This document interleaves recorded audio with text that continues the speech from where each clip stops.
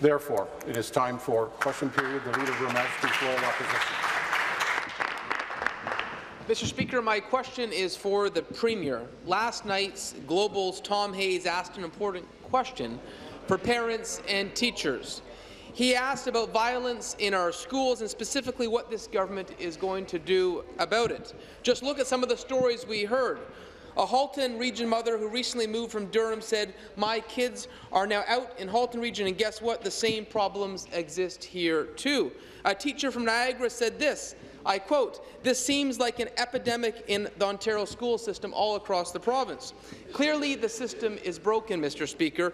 How long will parents have to worry about their children, and how long will teachers have to fear for their safety before this government finally acts? Thank you very much, Mr. Speaker. Well, I know the Minister of Education will want to speak to the specifics, but I know, Mr. Speaker, having met with uh, representatives of our education partners, I know that we are working with them and that there is a there's a particular request to work together to set up a, a, process, Mr. Speaker, whereby we can ensure that there, there are the resources that are needed in our schools, um, particularly, uh, particularly on issues of, uh, of workplace safety, Mr. Speaker. And so that, that speaks to our commitment to uh, not just workplace safety for teachers and support workers, but also um, safety for everyone who, uh, who either goes to our schools, Mr. Speaker, parents who come into the school, and everyone who works in the school. We are working with our partners, and we will ensure, Mr. Speaker, that we put uh, new supports in place if those are uh, if those are required.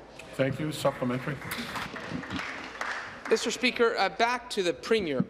When there's violence in the classroom, the government has a duty and an obligation to act to protect the safety of our teachers. But of course, the Minister of Education passes the buck again and again. She leaves this epidemic up to the local school board, saying that it has nothing to do with the government. She tells everyone not to worry because local school boards have policies. But, Mr. Speaker, this is not a local issue. This is across the province. As the Niagara teacher told us, this is an Ontario-wide epidemic. What has to happen? What tragic event has to happen before the government realizes it's their responsibility and they can't pass the buck any longer? Mr. Speaker, how bad does this epidemic have to get until we can get a commitment from the province and from the Premier directly that they're going to take this issue seriously? Well, Mr. Speaker, you have that commitment. The people of Ontario have that commitment. Our education partners have that commitment.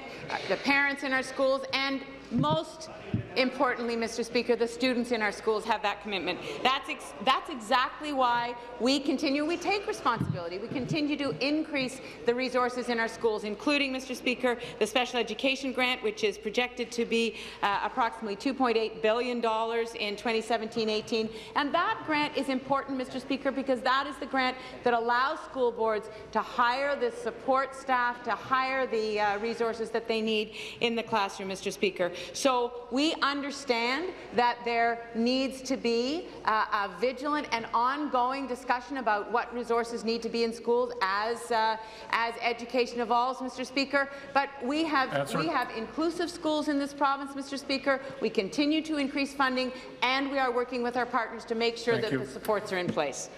Final supplementary.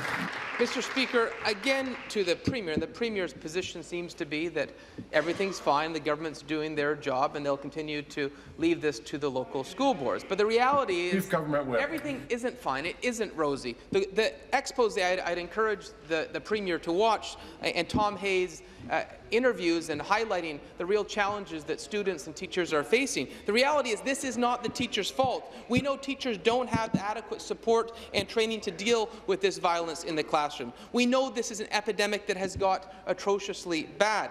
This is not an appropriate work environment for anyone. It's not acceptable. And I want the Premier, I want the government to understand they can't pass this off. And so my question, Mr. Speaker, to the Premier is this. Does the liability and responsibility for the safety of our teachers not belong to the Minister of Education, question? or are they going to again pass it off to the school board? Well, Mr. Speaker, let me be let me be clear once again. We understand that we are absolutely responsible for the supports that are, that are in our schools. We take this very seriously, and of course, Mr. Speaker, if there are uh, incidents of violence, then those are unacceptable for the, all of the people in a classroom or in a school, Mr. Speaker, which is exactly why, in my previous answer, I talked about the increased resources that we are putting in our schools. And we will continue to work with our education partners. As I said, I have met with representatives of uh, Teachers Federation who have said to us that they think that as the classroom and the population evolves, as the, the classroom changes, Mr. Speaker, that we need to make sure that we have the resources and, and the training in place for everyone who works in our schools. We will work with our partners. The Minister of Education is Answer. doing that as we continue to increase funding in our schools. Both of those things go together, Mr. Speaker. Thank you. New question, the Leader of the Opposition. Mr. Speaker, my question is for the Premier. Surprise, surprise, recent hydro bills across the province were stuffed with what appears to be partisan advertising. It appears like there's no line this Liberal government will not cross. So, Mr. Speaker, what I'd like to know specifically from the Premier is how much did this partisan Liberal advertising cost that you stuffed in hydro bills? Mr. Speaker, I know the Minister of Energy is going to want to speak to the supplementary, but let me just say that um, what, what is happening across the province is people are seeing their electricity bills go down, Mr. Speaker. They're seeing reductions uh, of their electricity bills. That's what our Fair Hydro plan is about, Mr. Speaker. I understand that the Leader of the Opposition wants to talk about anything but uh, the fact that he doesn't have a plan and did not ever have a plan to reduce people's electricity bills. We are doing that. People are seeing those reductions on their bills, Mr. Speaker, and that's exactly as it should be as people struggle to, to manage their finances on a day-to-day -day basis, Mr. Yeah. Speaker. Thank you. Supplementary. Mr. Speaker, it's amazing that the Premier can defend this propaganda with a straight face. It's wrong. She knows it's wrong. The member for Prince Edward Hastings wrote to the Auditor General about these Liberal ads stuffed in hydro bills. In her response, she essentially said, this is not the first time the Liberals have used hydro bills for partisan purposes. They jammed election-style ads and hydro bills just before the 2011 election. Now we know the government has no shame. They will continue to cross lines to try to pitch this alternate reality of their farce of a hydro plan. As usual, the Liberals will do anything, anything to look out for the Liberal Party, not for ratepayers in Ontario. So, Mr. Speaker, I ask this. Member for Manchester. When and where does a Liberal cross an ethical line? When do they realize that they, can, they have to stop using Ontario taxpayer resources to push their own partisan agenda? It's getting worse and worse. Question. If you're not going to listen to us, will you listen to the Auditor General and do the right thing? Thank you. Minister of Energy. Minister of Energy. Thank you, Mr. Speaker. One of the things that we continue to do as a government, Mr. Speaker, is bring forward a plan that will reduce rates by 25 percent by July 1st, Mr. Speaker, of course, if this legislation passed. That's 25 percent reduction for small businesses. That's 25 percent reduction for farms, Mr. Speaker, and 25 percent reduction for all families right across the province. When it comes to making sure that people in this province know that there's a plan out there, Mr. Speaker. It's this government that brought forward that plan. It's this government that is making sure that those 800,000 families in this province that live in the rural or northern part actually will see a 40 to 50 percent reduction. What they also know, Mr. Speaker, is the opposition have no plan, and when they have no plan for electricity, Mr. Speaker, that just means they have no plan for Ontario. Your final supplementary. Mr. Speaker, again to the Premier partisan false propaganda. That's what That's this is, Mr. Speaker. Yep. The Auditor General had this to say.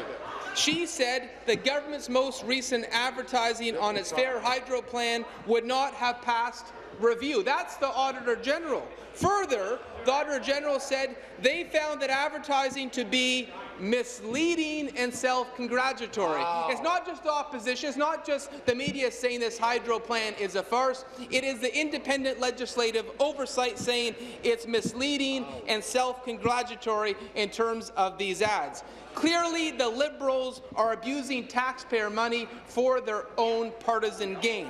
That's not acceptable. So, Mr. Speaker, will the Liberals pull their hydro election ads and stop campaigning on taxpayers' dime. It's a pretty simple Question. request. Will you simply do the right thing and stop abusing taxpayers for stop your own partisan gain? Be seated, please. Be seated, please. Thank you. The member from Leeds Grenville, second time. Minister. Thank you, Mr. Speaker. And I know the PCs don't want the people of Ontario to know that there's going to be a 25% reduction coming by summer, Mr. Speaker. I know that the PCs don't want people to be able to plan and look at their, you know, their budgets, Mr. Speaker, and especially with the utilities. We have about 68 utilities in this province that they need to plan, Mr. Speaker, to ensure that they can inform their customers so they understand that. And I know they don't like telling people of Ontario what's actually happening, Mr. Speaker, because they have no plan when it comes to electricity. Mr. Speaker, they don't know. They have, you know, when it comes to their approach, Mr. Speaker, their approach doesn't lower bills for families. It doesn't lower bills for small businesses. It doesn't lower bills for farms. It doesn't lower bills for long-term care homes. It doesn't Bruce cut Grey, bills for greenhouses, and it doesn't do anything to address Ontario's Indigenous communities, Mr. Speaker. And why is that? Because, Mr. Speaker, they have no plan. When they don't have a plan for electricity, they have no plan on what to do in Ontario, Mr. Speaker. We have brought forward a plan that's going to reduce bills by 25 percent. That will help everyone in this province. New question, the Leader of the Third Party. Thank you, Speaker. Speaker, in less than an hour, the Liberal government is going to force through a time allocation motion that severely limits debate on their hydro financing scheme, borrowing scheme, really, is what it is. And when that happens, this legislature will have had about seven hours of debate on this bill. Seven hours, Speaker, seven hours for legislation that will impact people's lives for the next 30 years. It's ludicrous. Why does this Premier insist upon ramming this legislation through the House?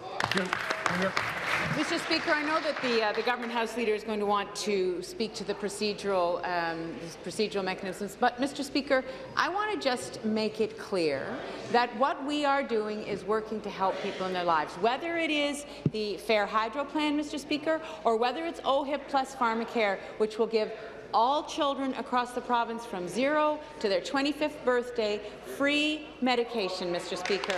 Those are, those are initiatives that we believe are critical. It is, it is outrageous to me, Mr. Speaker,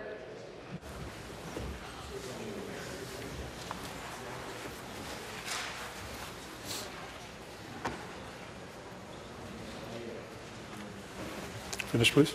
is uh, actually very surprising that the NDP is going to, has indicated they will vote against both those measures, Mr. Speaker, and they, they uh, would rather, would rather focus on procedural mechanisms and games, Mr. Speaker, than Thank you. actually deal with the substance. Supplementary. Speaker, what is outrageous is the plan that the Liberals are trying to ram through this legislature that will cost people more money in a couple years' time when it comes to their electricity bills. Look, in addition to the limited debate that they're allowing here, they're also going to limit where the people of Ontario will have an opportunity to have their say. All of the public hearings that they've just had a change of heart on this morning uh, are going to be happening here in Toronto.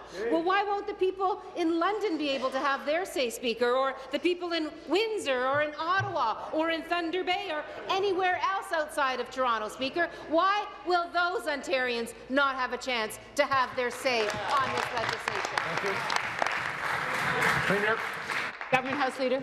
Government House Leader. Well, Speaker, thank you very much. And uh, I can tell you on this side of the House, we are extremely proud to bring forward Bill 132. That is going to provide for immediate relief for all Ontarians by cutting their hydro bills by 25 percent, Speaker.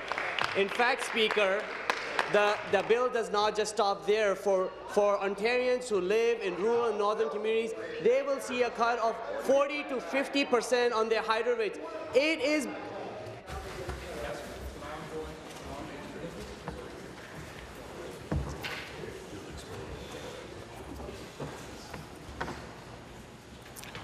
Minister of Economic Development will come to order.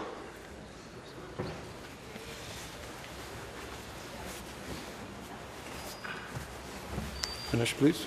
Speaker, it is uh, uh, beyond comprehension is why the NDP is against giving Ontarians a significant relief from their hydro bills.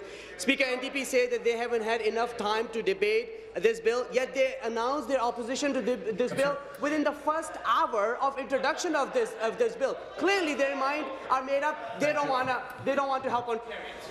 Thank you. Final supplementary. Speaker, what the NDP is against is giving the people of Ontario the shaft on their hydro bills. That's what this government is about to do.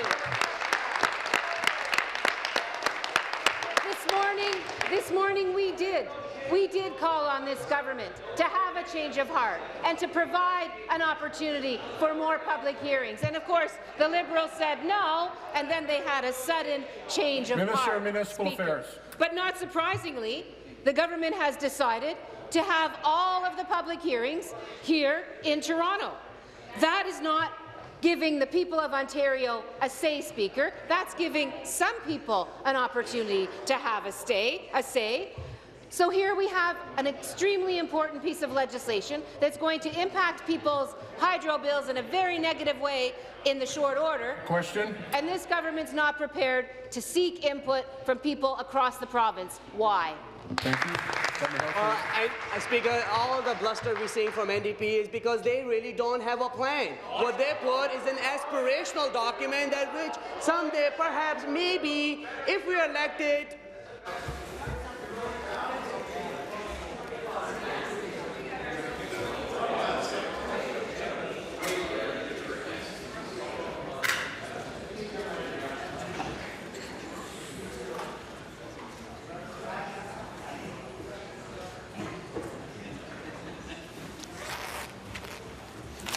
Finish, please. Their, their plan is an aspirational plan.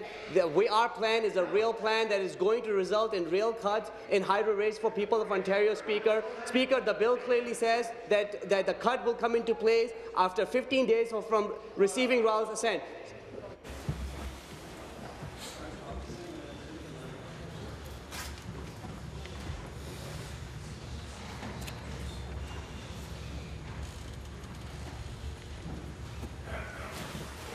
Speaker, we don't want to delay people of Ontarians getting a cut.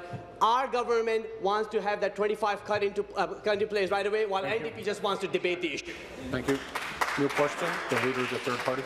Thank you, Speaker. My next question is also for the Premier. In 2013, the Premier said this about her party's cancellation of the Oakville and Mississauga gas plants, and I quote, I never said this wasn't a political decision. It was Minister a of political Education. decision. Will the Premier admit Minister right now, Social- so that her mean, uh, successor Community won't Safety. have to, that her hydro borrowing scheme is just a political decision designed to try Minister to help her party hold on to power in the next election? Thank you. Be seated, please. Be seated, please.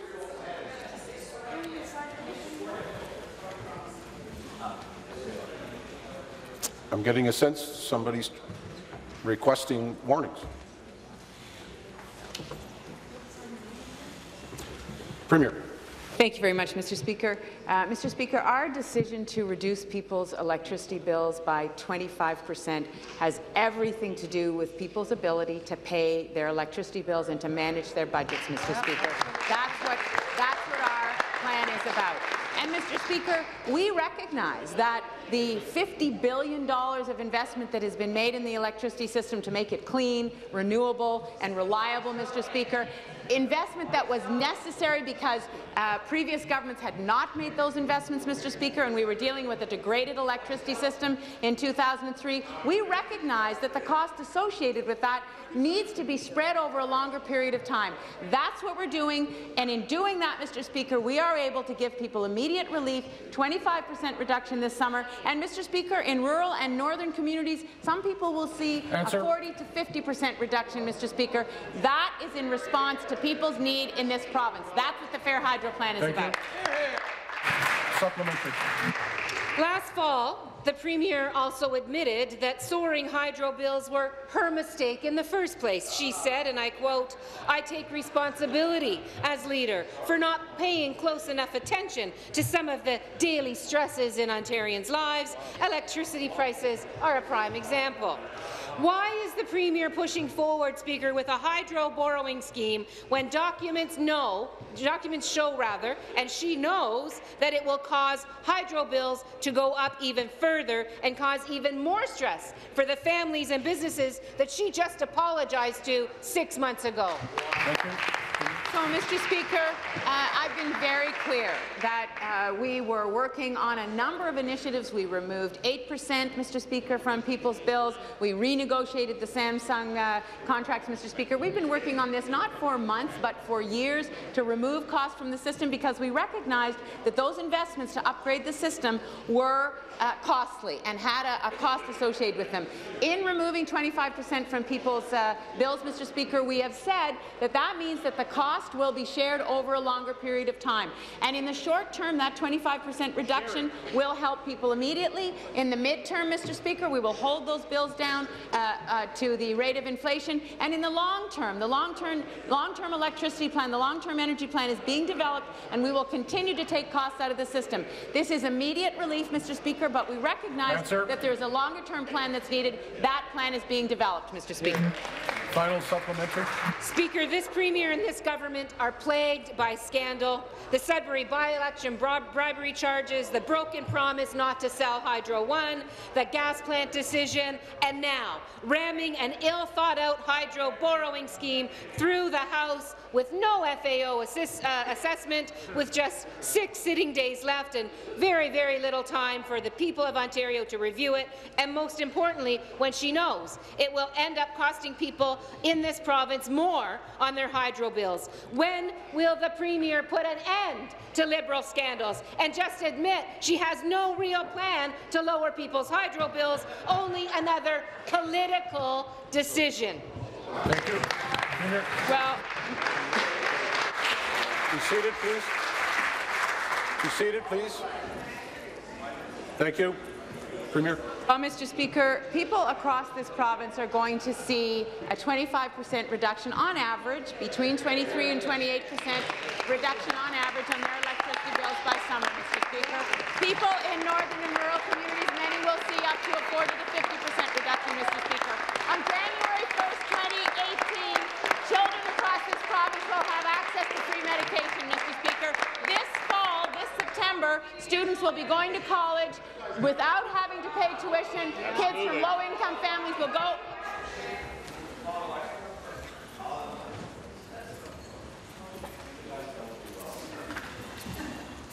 I'll wait until you're finished. Thanks. Wave up.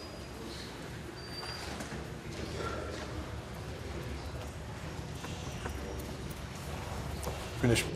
Kids will be going to university, Mr. Speaker, and to college and taking training programs without having to pay tuition. My job Answer. as Premier is to put in place plans that are real, that give people real relief, and that work and have real timelines. That's what we're doing, Mr. Speaker. Seated, please. Start the clock. Start the clock. Be seated, please. Be seated.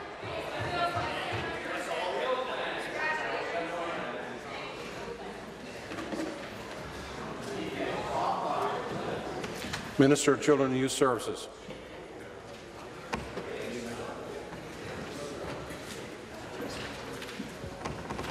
New question. The member from Nipissing. Thank you and good morning, uh, Speaker. My question is for the Premier. Later this morning, we'll be voting on the uh, government's budget measures bill. This includes giving the availability to municipalities to implement a new hotel tax. On this new tax, the Liberal MPP from Mississauga Streetsville stated, and I quote, this is a bad idea and I do not support it. He went on to say, and again I'm quoting, to attempt to tax out-of-town residents is taxation without representation. Even the Premier's own members have serious objections to this bill. I asked the Premier, is that why debate was cut off? Did the Premier not want the member from Mississauga Streetsville and others Member from to Davenport. share these objections with the legislature? Thank you. Premier. Minister of Finance. Sir Finance. Mr. Speaker, uh, the member opposite was correct on one point. We are passing a bill this afternoon to pass the first balanced budget since the depths of the recession, Mr. Speaker. A balanced budget that's going to meet the needs of the people of Ontario. A budget that's going to support all our children under the age of 25 with free medication. A budget that's going to provide supports for education and health care with record investments, a budget that's going to provide for more roads and bridges and public transit, Mr. Speaker. And, Mr. Speaker, we are going to provide the City of Toronto and other municipalities with more powers at their request. But, Mr. Speaker, what's important here is that we're providing for the people of Ontario, and that member opposite should be supporting that as well. Thank you. Supplementary, the member from Oxford. Much, Mr. Speaker. Mr. Speaker, my question is back to the Premier. Premier, the member from Mississauga Streetsville isn't the only one of your members that disagrees with your policies. The Liberal member from Beach Beaches East York said, quote, the rent controls that we, we brought that were brought in by the previous NDP government under Bob Rae decimated the affordable mar housing market in Toronto and other communities in Ontario because it didn't allow the private sector to continue to build. He went on to say, quote, I would resist tremendously any amendment to this legislation that would bring back rent Minister control. of Housing. Premier, did you cut off debate on Bill 24 so that your members couldn't raise these objections in the legislature? Thank you. Minister Finance. Mr. Speaker, the member opposite has just made reference. The member from Leeds Grenville is warned.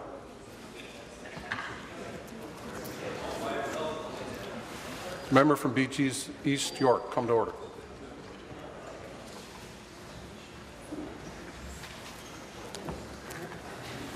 Minister. The member opposite just made reference to 16 measures, comprehensive measures to try to cool the market, to address demand and supply in our housing sector, to provide and support the people of Ontario and homeowners who are trying to get into the market. The member opposite is suggesting otherwise. Again, they're voting against the people of Ontario. They're not supporting the very families that are trying to get into the marketplace as we've addressed in those measures going forward, Mr. Speaker. I asked the member opposite and the first question, what will they cut as we proceed forward in these measures, Mr. Speaker? Will they cut pharmacare for the for the children of our communities? Will they cut hospitals and education and schools in their respective communities, Mr. Speaker? That's what they're voting for. They're voting against the people of Ontario, Mr. Speaker. Thank you. New question, the member from Nickel Belt. Merci, Monsieur. Thank you, Mr. Speaker. For the Premier. Families in Brampton know that their hospital is dangerously overcrowded. The emergency room sees about 160 percent more people each and every day than they were designed to care for. People like Jamie Lee Ball have suffered on, for days on end on stretchers in hallways, and 87-year-old Rafina Delrop passed away after spending five long days in the hallways of the ER. The Premier could do something to fix the overcrowding at Brampton Civic, but she refuses to act. How much longer do the good people of Brampton have to wait before this Premier actually does something to fix the overcrowding at the Brampton Civic Hospital.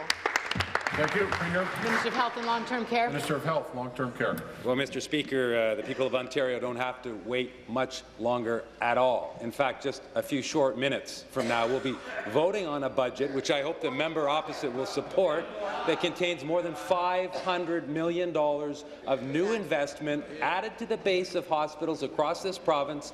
Every single hospital will get a minimum of a 2% increase to their budget. And in addition to that, we have reserved significant funds specifically for hospitals like the Brampton Civic. And, Mr. Speaker, we're adding an additional $10 million to the Brampton Civic this year, subject to the approval of the budget, which I hope the member opposite and her party will support for that very reason. And I have to remind Ontarians as well how proud I was to be standing beside the Premier just a few short weeks ago when we opened the brand new Peel Memorial. Health Wellness Centre, which is providing extraordinary service to the people of Brampton, Mr. Speaker. Thank you. Supplementary. Thank you, Speaker. The Premier was at Osler Health this morning, and she could have announced that her government will stop the overcrowding at Brampton Hospital, but she failed to do that. Brampton Civic needs at least 200 more beds in the short term and more like 600 more beds in the long term. The Premier's failures to step up and fix the overcrowding crisis means that patients like Jamie Lee and Rufina will continue to suffer from hallway medicine.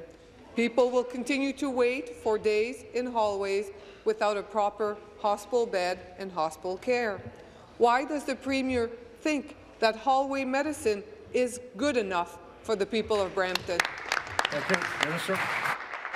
Well, of course, that's an unfair characterization of the position as party, Mr. Speaker, but that's precisely why we invested approximately half a billion new dollars last year, an additional more than 500 million this year in this budget, and in just a few minutes, the member opposite has the opportunity to support those investments, Mr. Speaker. And those investments include a multi-billion dollar investment in a brand new hospital that will benefit Mississauga and Etobicoke. The Trillium, the new hospital in Mississauga, uh, the Trillium Network, Mr. Speaker. And it's part of capital investments of $20 billion over the next 10 years for new hospitals, for redevelopments, for expansions, precisely, I would hope, precisely to address the kind of issue that the member opposite has raised today.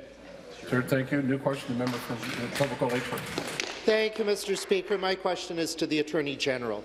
Uh, last fall, our government undertook to fix the Ontario Municipal Board and land use planning system. Mr. Speaker, the government held a series of town halls and stakeholder meetings across the province to hear from Ontarians directly, and I held two town halls in my own riding of Etobicoke Lakeshore.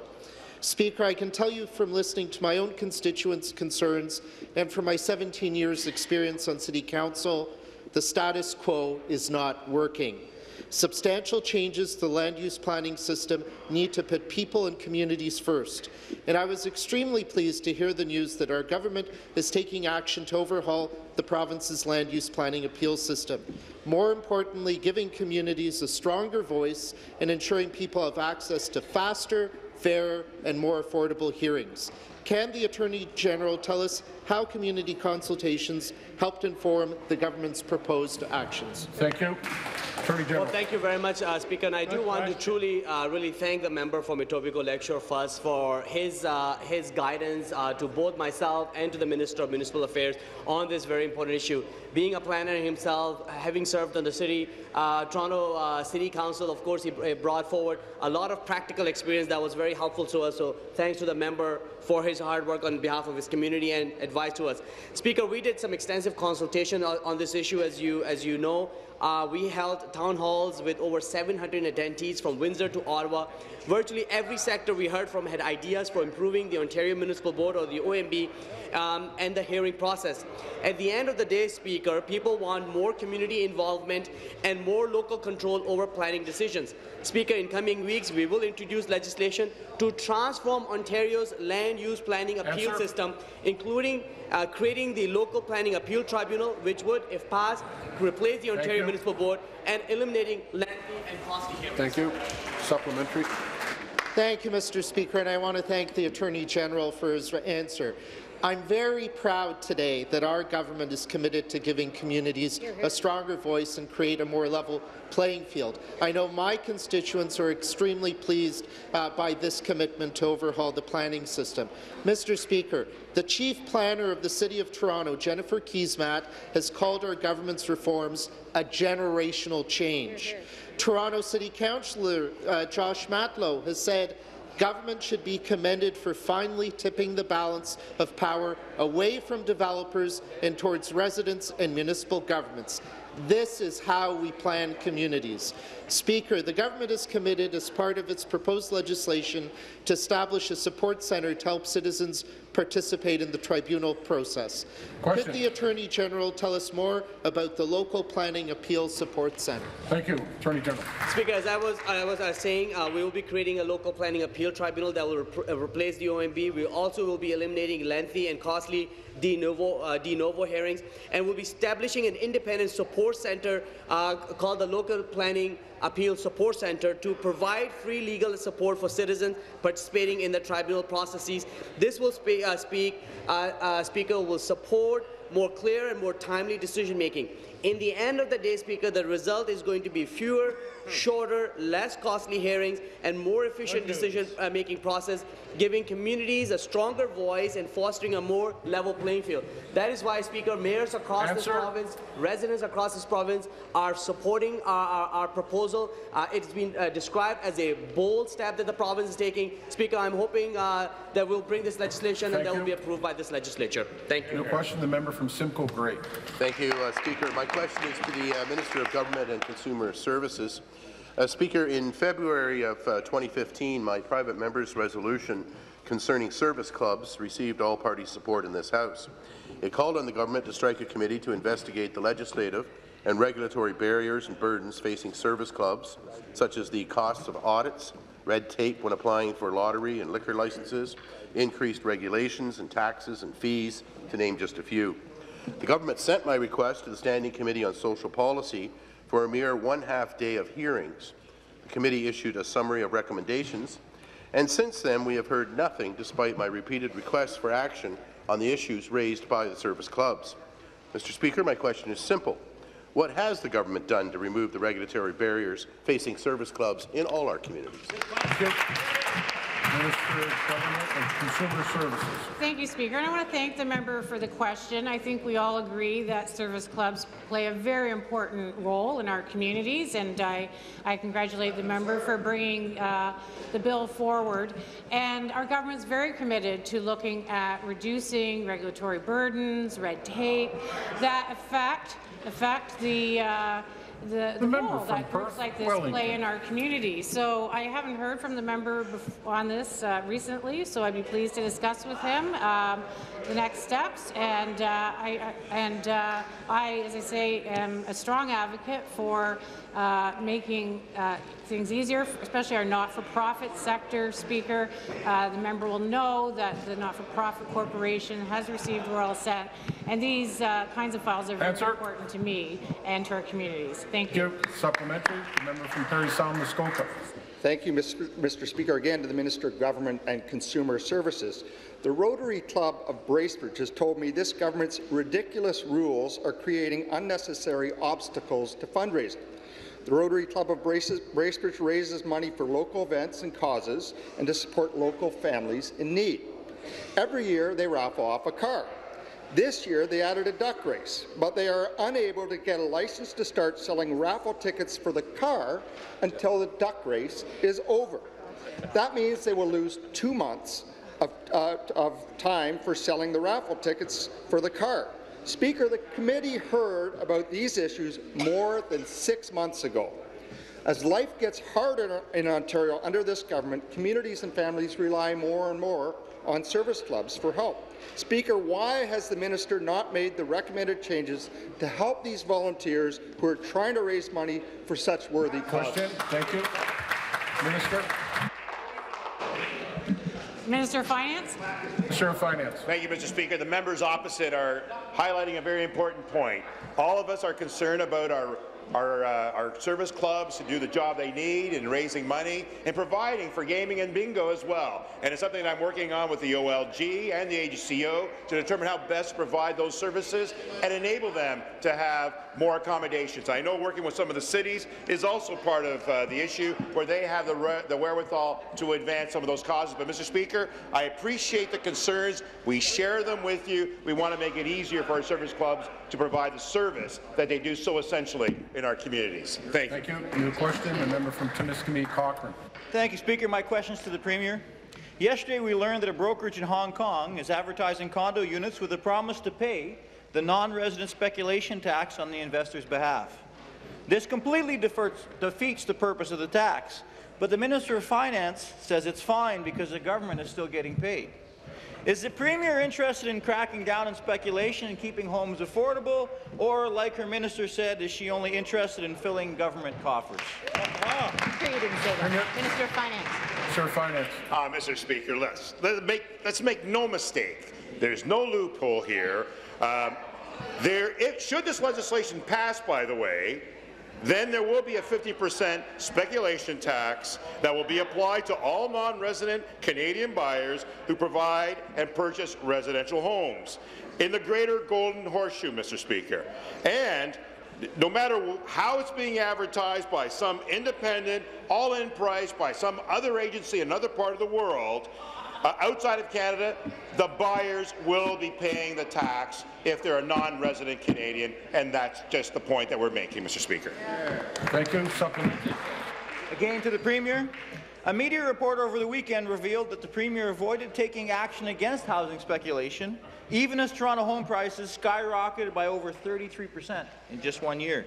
The article said, quote, Premier Kathleen Wynne and Mr. Sousa told government officials that they needed the approval of the major banks to pursue the speculation tax, unquote. Is the Premier unwilling to stop speculation and make homes affordable because she cares more about her banker friends than Ontario families who need un- affordable homes? Thank you. So, Mr. Speaker, there's a 16-point measure in this uh, in our fair housing plan. Uh, we hope the members opposite will support them. They include rent controls, Mr. Speaker. They include protections for tenants. They also include protections to provide for more supply into the mix, and they apply a a non-resident Canadian speculation tax on those that do not live in Canada and are crowding out families that are trying to buy homes. Mr. Speaker, we're supporting, and we're providing for this, and I hope the members opposite will support the very thing for the very same practices and measures that we're putting out. Mr. Speaker, it's important to cool the market and enable our families and young people to get into the market if they wish. The members opposite, I believe, I believe they support that, but I'm not really certain at this point, Mr. Speaker, what they're getting at. Thank you. Your question, the member from Trinity Spadina. Uh, thank you, Speaker. My question is to the uh, Minister of Municipal Affairs. Uh, like the member from Etobicoke Lakeshore, um, I too held a consultation town hall on OMB review with the member from Davenport. The Ontario Municipal Board is an independent adjudicative uh, tribunal. When people disagree over how the community should grow, often OMB hears the case and makes a decision. These are important decisions, and Ontario's we build today will determine how we live, work, and play tomorrow. We want a healthy, a sustainable, livable community. Many of my constituents have expressed concern that the OMB doesn't always give enough weight to the local perspective when it makes a decision. Yesterday, the minister, along with the Attorney General, announced that our government is taking action to improve our land use planning appeal system. Would the minister Question. elaborate on some of the changes our government is proposing? Minister Speaker, I want to thank the member for the question. In the coming weeks, Speaker, legislation will be introduced that, if passed, would create the Local Planning Appeal Tribunal to replace the Ontario Municipal Board. The new tribunal would be mandated to give greater deference to the decisions of local communities. Now, the member for Trinity Spadina was one of many of our members, I would say, who held their own town halls and listened to what their constituents had to say, in addition to the consultations, at least a dozen or so, held by our ministry. The feedback came back to us and was considered as a part of the review. We heard that people wanted more community involvement, a more meaningful voice in the process, more local control over planning decisions, fewer hearings, and a more transparent process. Speaker, that's what we're proposing. This process, if passed, will provide more certainty for all including those in the development industry. Speaker, in the supplementary, I'm going to give some details on how we're providing more deference to local decision-making in this legislative package. Supplementary. Uh, thank you, Speaker. I want to thank the minister for the answer. I understand that as uh, providing more deference to local decision-making, our government is proposing that a few cases to go to appeal body, and some local decisions are exempt from it, the uh, from appeal. In my writing, the Ossington Community Association had questions about how community would grow near transit areas. All Ontarians should be able to count on a land use planning and appeal system that is efficient, transparent, and predictable, and one that gives residents a say in what's built in their neighborhood. Speaker, through you to the minister, would the minister explain how seeing a few municipal and provincial decisions go to tribunal will benefit communities in Ontario? Thank you, Minister. Speaker, again, I thank the member, and he, he is uh, he's spot on, Speaker. We're proposing to bring fewer municipal decisions before the tribunal. New official plans, major OP updates, and detailed plans to support growth in major transit station areas would be sheltered from appeal. On the transit piece, we're proposing a tool that would put greater power in the hands of municipalities. When municipalities plan for transit supportive densities around a major transit station in a way that reflects community concerns and circumstances, Speaker, we believe that planning should be protected at the discretion of the municipality. That's what we're proposing. All these changes would support the development of more livable, accessible and complete neighbourhoods. We've heard that too often OMB decisions don't consider local perspectives. These changes, Speaker, will reset the balance. That's why local governments are supporting this announcement. We've heard from a number of mayors right across the GTHA and beyond who are very supportive of this, Speaker. Thank it's you. a great piece. We're proud of it, and we think it's landed. Thank you. New question, the member from Lanark Frontenac Lennox and Addington. Thank you, Speaker. Speaker, my question is to the Premier. Speaker, throughout April and May, I received hundreds and hundreds of letters from my constituents expressing outrage over their hydro bill and the excessive cost of electricity on their families and their homes uh, and businesses. Every single one of these letters is addressed to the Premier and is, has a hydro bill attached to it. Speaker, my constituents blame the Premier for her interference, her meddling, and ideological pursuits, which have resulted in this hydro scandal. I'm going to send these letters over to the Premier with the page. These people deserve an honest answer and response from the, the architect of this anarchy. Speaker, will the Premier be straight with my re- constituents in response? Or will they have to continue to rely on leaked cabinet documents instead? Mr. Speaker, I appreciate I appreciate the uh, the uh, correspondence that the member has sent, and we certainly will uh, will look at it and uh, and respond, Mr. Speaker. And I assume that these letters have come into uh, my office. I'll have to look at them, uh, Mr. Speaker. But you know what I will say to each one of them is that we recognize that electricity costs needed to be dealt with. We recognize that making sure that we had a reliable, clean electricity grid had a cost associated with, with it, Mr. Speaker, and we recognize that it is very important that we take 25% off their bills by summer, Mr. Speaker, so that they will have an easier time managing their household budgets. So I will be absolutely Second straight with time. you, Mr. Speaker, and I will further say that the way we are doing that is we are asking the people of Ontario over a longer period of time to pay for those upgrades of the electricity Answer. system and even the playing field, Mr. Speaker. And I will absolutely be Thank you. happy to say that to your Supplementary. Speaker, again to the Premier. I, I asked for a straightforward and honest response because I've read that confidential uh, cabinet document on the global adjustment smoothing, as well as so many others have. And it states after this year, we can expect rates to continue to rise, and in 10 years' time, 50 percent higher. Everybody sees this as a sleight of hand, Speaker, and crass electioneering tactic to try to refloat their foundering political ship. Speaker, the Premier needs to explain and be truthful to the people of Ontario that what this government says in this House and to the media appears to be very different than what is being said behind those very secretive cabinet doors. And I believe all those suffering Question. in energy poverty deserve the truth. Does the Premier believe they deserve the truth? Minister of Energy.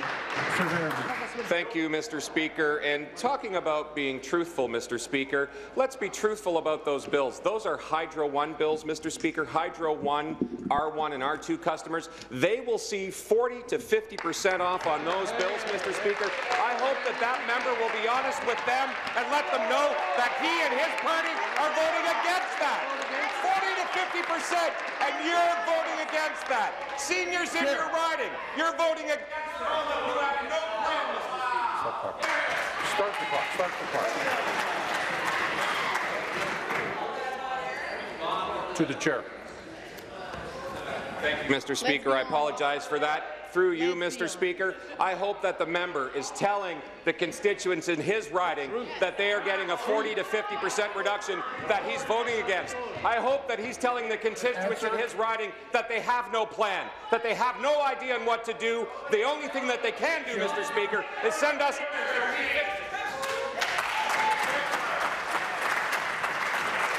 The member from Nepean Carleton will come to order. New question, the member from Timmins, James Bay. My uh, question is to the Premier. Premier, it's pretty clear watching our federal government and their negotiations on the softwood lumber uh, situation that they're almost ready to throw in the towel for Ontario. The minister is on, the, minister, the federal minister of the Crown has actually stated at this point they're going to focus on the job losses, that they know there's going to be job losses in the Ontario industry and that they're prepared to do something in order to offset those job losses.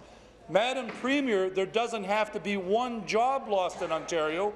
Our industry is not subsidized. It's been found like that under Chapter 19 of NAFTA, not once but numerous times by the uh, Chapter 19 to say that, in fact, we don't subsidize our interest, industry. So my question to you is this.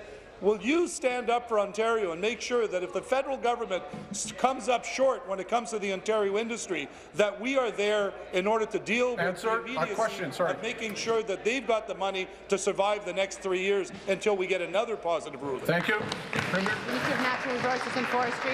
Minister of Natural Resources and Forestry. Thank you, Speaker, and I thank the member for the question. And uh, we on this side of the House are also very concerned about the softwood lumber dispute, and we've taken very strong action. Ontario is working with the sector to protect this important part of Ontario's economy and minimize the impact of these unreasonable duties.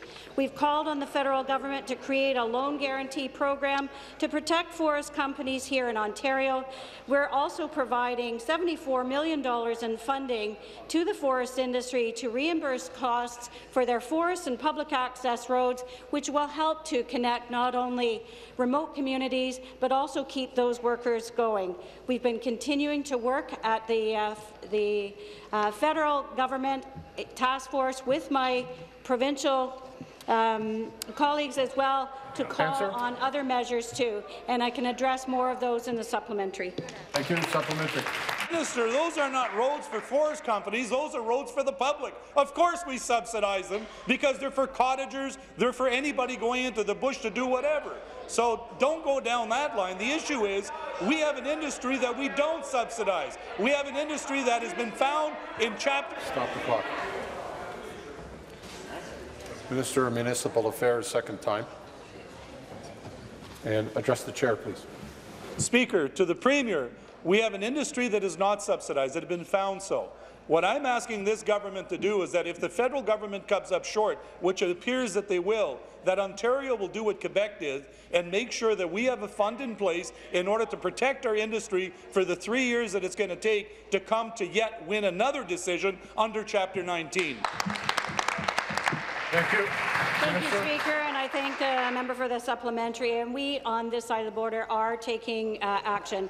We are looking at all options on Ontario. We continue to bring the Ontario voice to the federal government, who are responsible for going out and uh, and negotiating. We have named Jim Peterson, who was a former federal trade minister, as our emissary, and he's working on behalf of our workers. I wanted to point out to the member opposite that they downloaded those forest roads to the municipalities. Not only are we supporting of those, we top that up with 20 million more dollars that keeps those members and those contractors working from those forest companies in order to maintain and build those roads. Kevin Edgson, CEO of EACOM, which runs a sawmill, added that the uh, announcement of that uh, extra money demonstrates the Ontario government's support for strong, Answer. safe, reliable infrastructure in north of, uh, Northern Ontario. We continue to look at all options as this rolls out.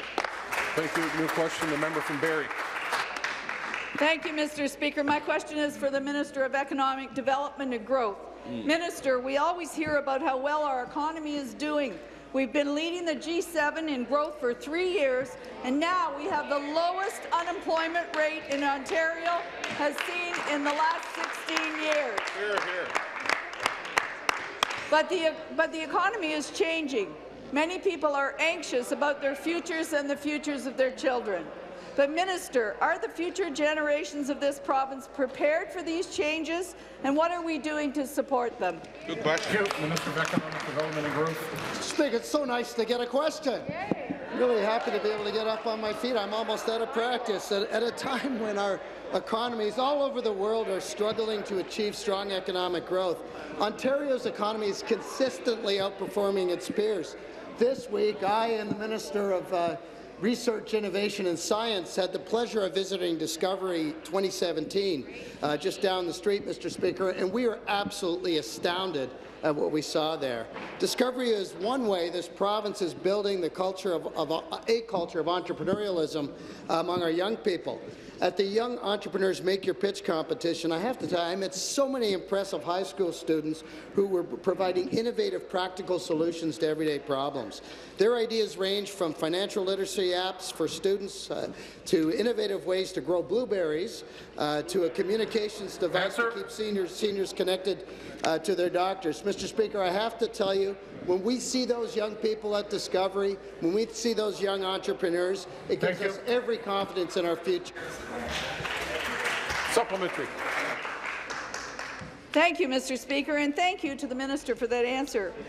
Technology is advancing in an unprecedented, unprecedented rate in Ontario. That's right. I'm happy to see that this government puts the hard work and advocacy to, forward to make sure Ontario's scientists and researchers are supported in every capacity. Here, here. Every morning I wake up and read more and more articles about new, exciting companies opening up offices in Ontario to attract workers from our highly skilled talent pool. I understand that over the past two days, several ministers have been attending the Ontario Centres of Excellence Discovery 2017 conference and spoke on, on the direction of innovation in Ontario. Question. Could the minister please tell the members of this legislature what was presented at Discovery and the work our government has been doing Thank to you. support innovation in Minister. Ontario? The Minister of uh, Research, Innovation and Science, Mr. Speaker. Minister of Innovation, Research and Science. Thank you, Mr. Speaker. I want to thank the member from Barrie for, for that question.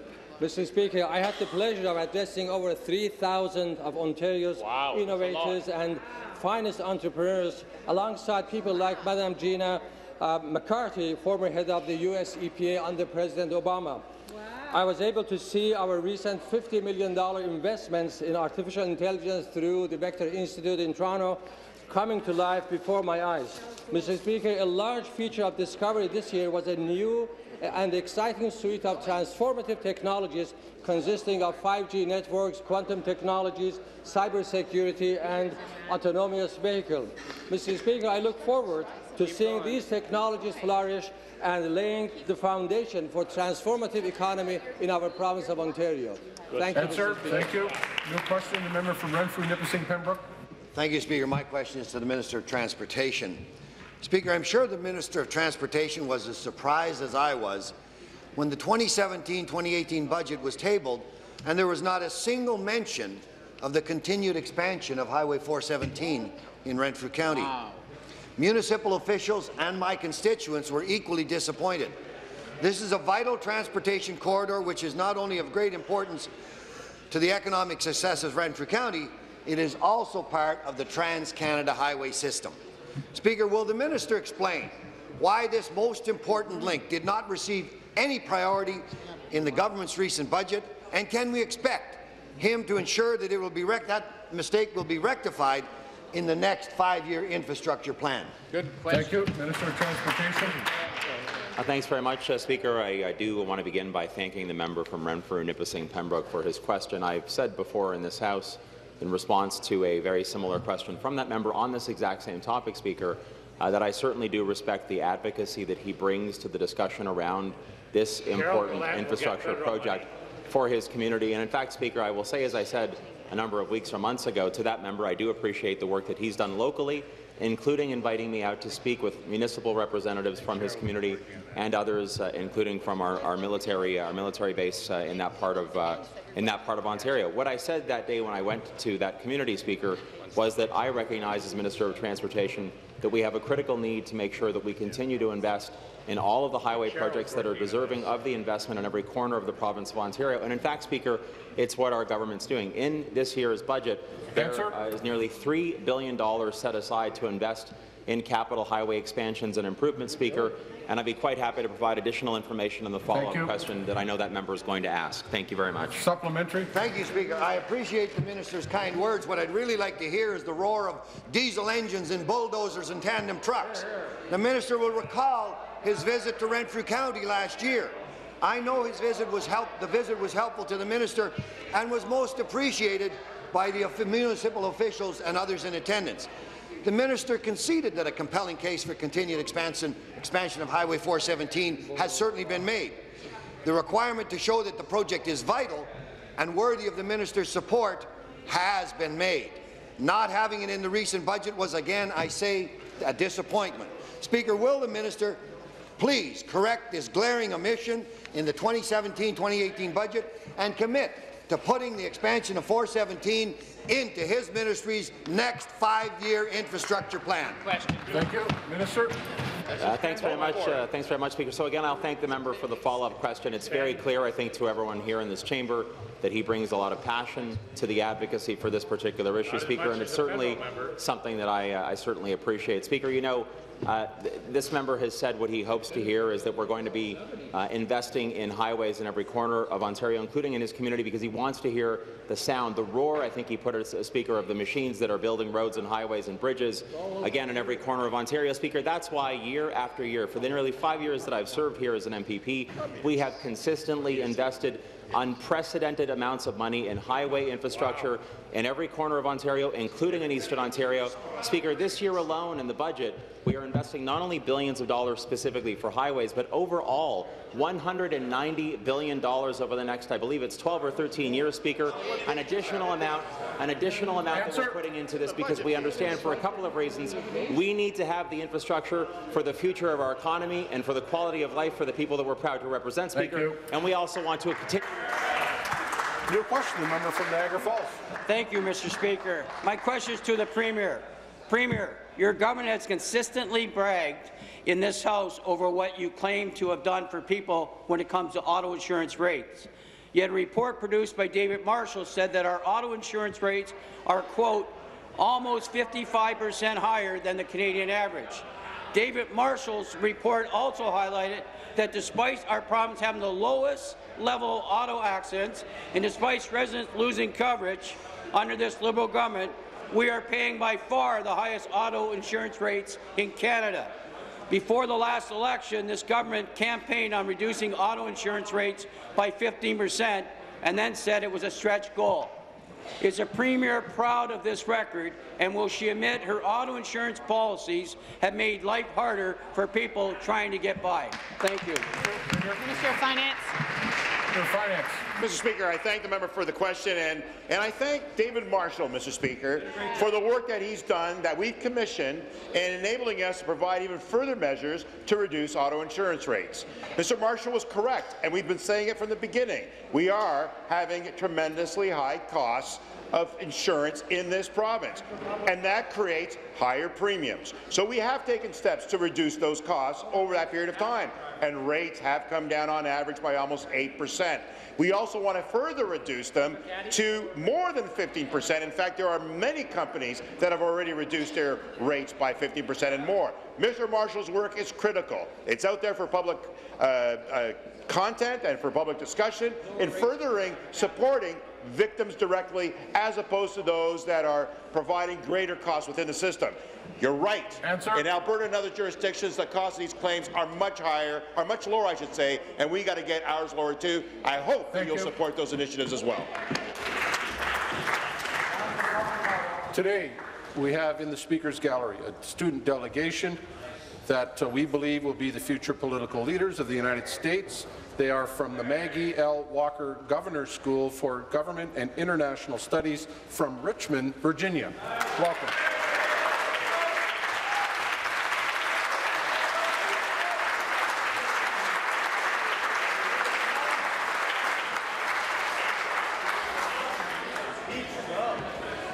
I will be meeting with them immediately after question period, and I'm sure they're going to ask me about what they just saw. I beg to inform the House that following report was tabled, the report of the Integrity Commissioner of Ontario concerning the review of uh, uh, allowable expenses under the Cabinet Ministers and Opposition Leaders Expense Review and Accountability Act 2002, Section 14B, received in January 2017, submitted submission completed of May 15, 2017. I also beg to inform the House that the following report was also tabled. The report on the Integrity Commissioner of Ontario concerning the review of, of allowable expenses under the Cabinet Ministers and Opposition Leaders Expense Review and Accountability Act 2002, Section 14B, received in February 2017, submitted com submission completed as of May 15, 2017 we have a deferred vote on the government notice of motion 30 relating to allocation of time of Bill 132, an act to enact the Fair Hydro the Ontario Fair Hydro Plan Act 2017, an act to amend and amendments to Electricity Act uh, 1998 and the Ontario Energy Board Act 1998. Calling the members, this will be a five-minute bell.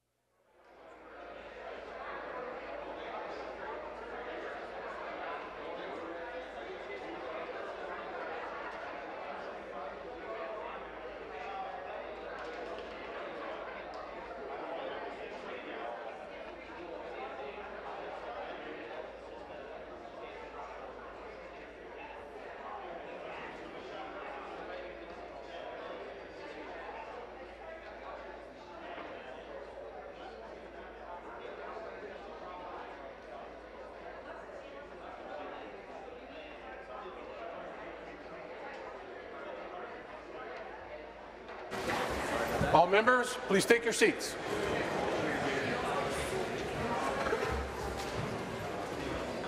All members,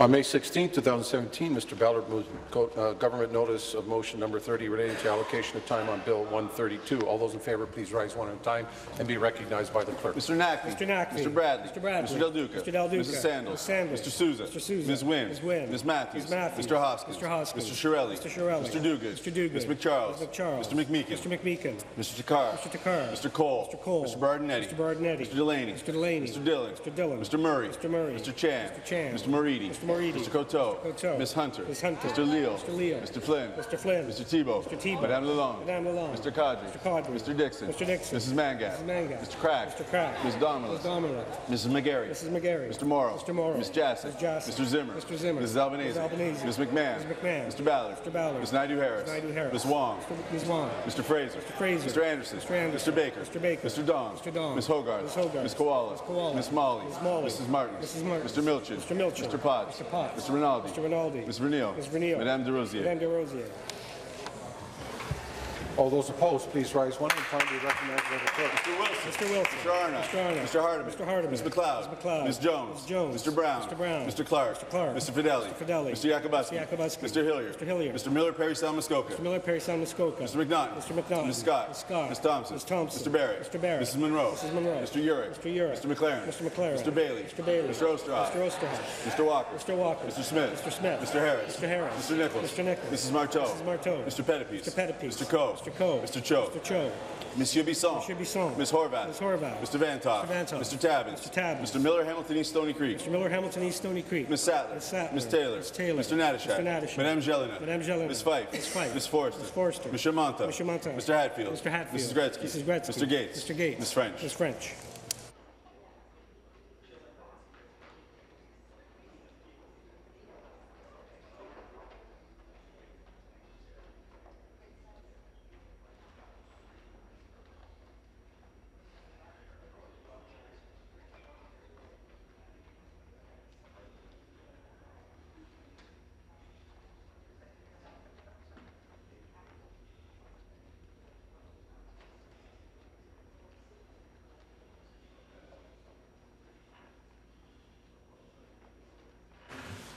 The ayes are 53, the nays are 44. The ayes being 53 and the nays being 44, I declare the motion carried. We have a deferred vote on the government notice of motion number 29 relating to the allocation. Same vote? Same vote. The ayes are 53, the nays are 44.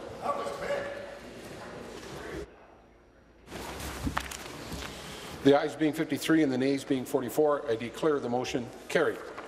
We have a deferred vote on the motion uh, uh, of third reading of Bill 127, an act to implement budget measures to enact, amend, and repeal various statutes.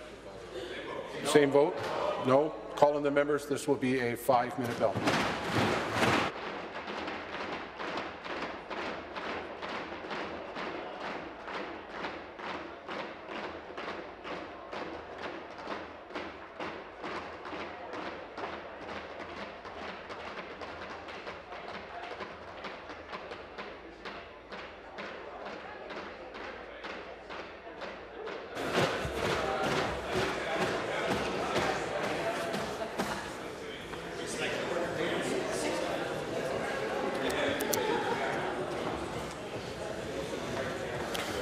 Today, Mr. Duguid moved third reading of Bill 127, an act to implement budget measures and to enact, amend, and repeal various statutes. All those in favour, please rise one at a time. Be recognized by the clerk. Mr. Sousa. Mr. Sousa. Mr. Matthews. Mr. Matthews. Mr. Bradley. Mr. Bradley. Mr. Del Duca. Mr. Del Duca. Mrs. Sandals. Mrs. Sandals. Ms. Wynne. Ms. Wynne. Ms. Matthews. Ms. Matthews. Mr. Hoskins. Mr. Hoskins. Mr. Chiarelli. Mr. Chiarelli. Mr. Duguid. Mr. Duguid. Ms. McCharles. Ms. McCharles. Mr. McMeekin. Mr. McMeekin. Mr. Takhar. Mr. Takhar. Mr. Colle. Mr. Colle. Mr. Berardinetti. Mr. Berardinetti. Mr. Delaney. Mr. Delaney. Mr. Dhillon. Mr. Dhillon. Mr. Murray. Mr. Murray. Mr. Chan. Mr. Chan. Mr. Moridi. Mr. Moridi. Mr. Coteau. Mr. Coteau. Ms. Hunter. Ms. Hunter. Mr. Leal. Mr. Leal. Mr. Flynn. Mr. Flynn. Mr. Thibeault. Mr. Thibeault. Madame Lalonde. Madame Lalonde. Mr. Qaadri. Mr. Qaadri. Mr. Dickson. Mr. Dickson. Mrs. Mangat. Mrs. Mangat. Mr. Crack. Mr. Crack. Ms. Damerla. Ms. Damerla. Mrs. McGarry. Mrs. McGarry. Mr. Mauro. Mr. Mauro. Ms. Jaczek. Ms. Jaczek. Mr. Zimmer. Mr. Zimmer. Mrs. Albanese. Mrs. Albanese. Ms. McMahon. Ms. McMahon. Mr. Ballard. Mr. Ballard. Ms. Naidoo-Harris. Ms. Naidoo-Harris. Ms. Wong. Ms. Wong. Mr. Fraser. Mr. Fraser. Mr. Anderson. Mr. Anderson. Mr. Baker. Mr. Baker. Mr. Dong. Mr. Dong. Ms. Hogarth. Ms. Hogarth. Ms. Kiwala. Ms. Kiwala. Ms. Malhi. Ms. Malhi. Mrs. Martin. Mrs. Martin. Mr. Milczyn. Mr. Milczyn. Mr. Potts. Mr. Potts. Mr. Rinaldi. Mr. Rinaldi. Ms. Renil. Ms. Renil. Madame Des Rosiers. Madame Des Rosiers. All those opposed, please rise one at a time to recognize by the clerk. Mr. Fedeli. Mr. Fedeli. Mr. Arnott. Mr. Arnott. Mr. Hardeman. Mr. Hardeman. Ms. MacLeod. Ms. MacLeod. Mr. Wilson. Mr. Wilson. Ms. Jones. Ms. Jones. Mr. Brown. Mr. Brown. Mr. Clark. Mr. Clark. Mr. Yakabuski. Mr. Yakabuski. Mr. Hillier. Mr. Hillier. Mr. Miller Parry Sound Muskoka. Mr. Miller, Parry Sound Muskoka. Mr. McNaught. Mr. McNaught. Ms. Scott. Ms. Scott. Ms. Thompson. Ms. Thompson. Mr. Barrett. Mr. Barrett. Mrs. Munro. Mrs. Munro. Mr. Yurek. Mr. Yurek. Mr. MacLaren. Mr. MacLaren. Mr. Bailey. Mr. Bailey. Mr. Oosterhoff. Mr. Oosterhoff. Mr. Walker. Mr. Walker. Mr. Smith. Mr. Smith. Mr. Harris. Mr. Harris. Mr. Nicholls. Mr. Nicholls. Mrs. Martow. Mrs. Martow. Mr. Pettapiece. Mr. Pettapiece. Mr. Coe. Mr. Coe. Mr. Cho. Mr. Cho.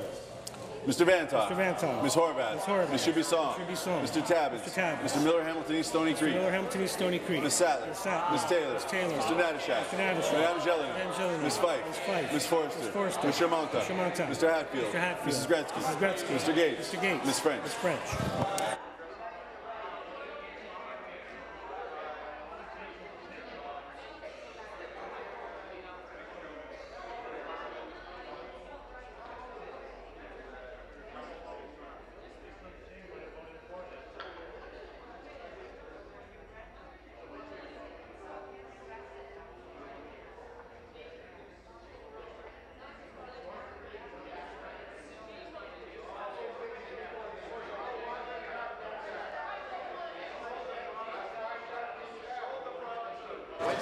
The ayes are 53, the nays are 44.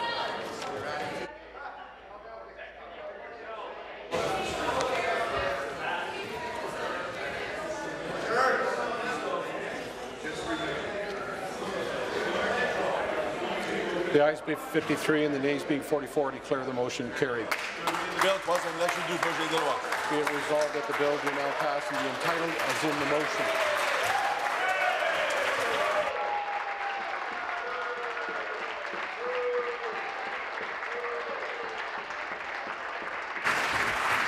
Government House Leader on a point of order. Speaker, I seek unanimous consent to move a motion without notice regarding the Standing Committee on Justice Policy's consideration of Bill 132, an act to enact the Ontario Fair Hydro Act Plan Act 2017. Government House do you seek unanimous consent. Put forward a motion without notice. Do we agree? Agreed.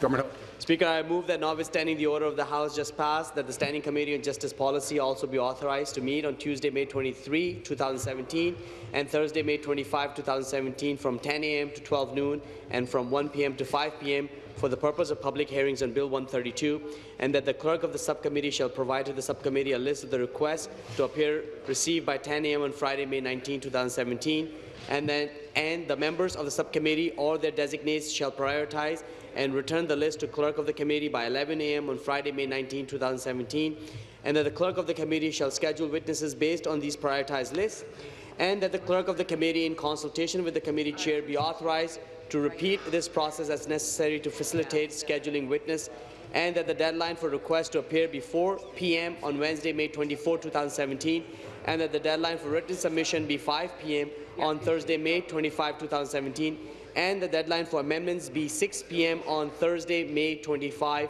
2017. Thanks, Rishi. Mr. Naqvi moves that notwithstanding the order of dispense. We agree? Agreed. Carried. There being no there being no deferred vote, no further deferred votes, this House stands recessed until 3 p.m. this afternoon.